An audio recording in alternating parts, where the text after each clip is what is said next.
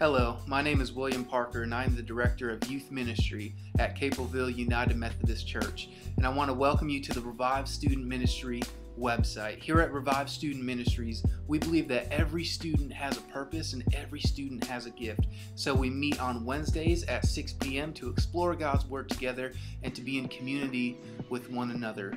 So take a minute, feel free to browse our website, and if you have any questions and you want to connect with us, please feel free to reach out on the Connect tab, as well as join us Wednesdays at 6 p.m. for Revive Student Ministry Worship. Thanks and have a blessed day.